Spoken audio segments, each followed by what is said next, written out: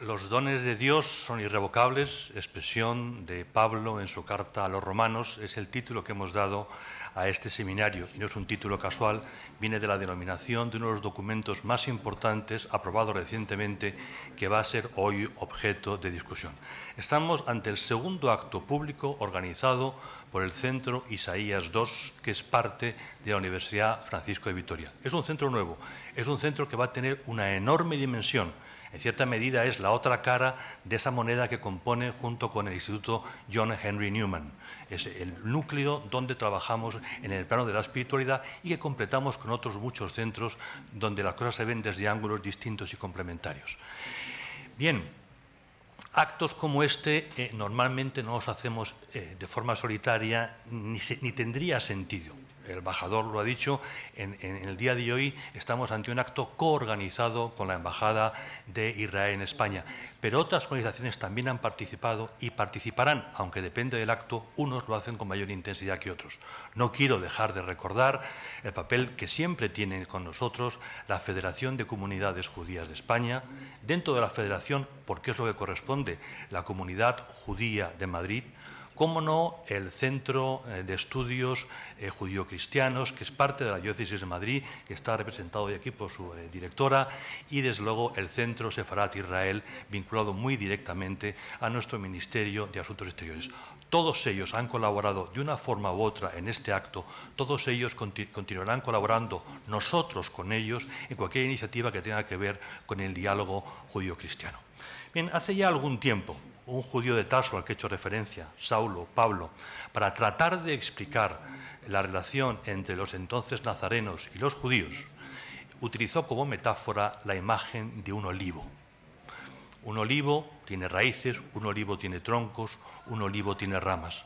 Posiblemente, y seguimos el ámbito metafórico, el esqueje procedía del sur de lo que hoy llamamos Irak, de allá de donde venía eh, el bueno de Abraham. El hecho es que el esqueje se planta en la tierra de leche y miel, enraizó, creció y de él salieron muchas y muy distintas ramas.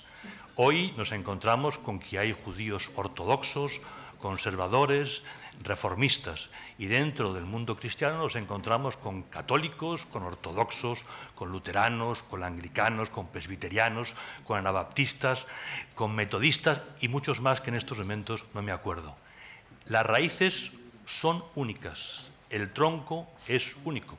Las ramas son distintas. Unas ramas crecen más que otras en un momento determinado, cada rama tiene su perspectiva de las cosas, pero hay algo que es común que es el tronco, que es la raíz, que son los valores, que es la historia. El Concilio Vaticano II, entre, otras, entre otros muchos objetivos, se planteó que la comunidad católica tuviera un conocimiento más profundo y asumiera más intensamente la realidad del Antiguo Testamento. Porque sólo así, porque sólo armonizando Antiguo Testamento y Nuevo Testamento, se podía de verdad comprender el sentido del Nuevo Testamento, el sentido de la Iglesia Católica en nuestros días. No es posible acompasar textos, tradiciones, sin acompasar comunidades. El acercamiento entre el mundo católico y el mundo judío, el recuperar relaciones de antaño, era un tema capital. Y ese fue una de las razones, uno de los orígenes de lo que finalmente será la declaración eh, eh, Nostra Aetate. Un segundo elemento venía del mundo académico y fue el redescubrimiento de la vida de los cristianos, de los nazarenos, en los días anteriores a la diáspora judía. Eh, cada vez tenemos más conciencia, mejor conocimiento de en qué medida los cristianos formaron parte de la comunidad judía que nacieron, crecieron, actuaron y murieron como judíos, y que solamente la diáspora provocada por la primera guerra eh, eh, judeo-romana y, sobre todo por la eh, revuelta tiempo después de Simón Bar Kopcha, que llevará a la gran diáspora, será ya en la diáspora donde nos encontraremos con que los cristianos constituyen algo distinto, algo propio, una auténtica religión. Bien, recuperar el Antiguo Testamento. Recuperar todo este acervo implica también recuperar el vínculo con el pueblo judío en su conjunto. Los cristianos originales no se sentían algo distinto, sencillamente pensaban que subía, que ellos sí habían encontrado finalmente al Mesías, que ellos habían encontrado la vía hacia la plenitud del eh, mundo eh, judío. Ese, insisto, es el marco de nuestra etate y desde entonces han pasado 50 años. Y en esos 50 años ha habido otro hecho histórico que está actuando, que está influyendo muy directamente en este diálogo. Me refiero al efecto de las corrientes relativistas en nuestros días. El relativismo lo que hace es negar los valores que están en la raíz del olivo milenario, que están en el fundamento, en la base de lo que hemos entendido durante siglos por Occidente. La realidad de esta amenaza, el cuestionamiento de, de, estos valores está haciendo que las ramas que durante tiempo se fueron distanciando unas de otras, hoy se plieguen, hoy se acerquen, valorando todo lo que tienen en común, esas raíces, ese tronco.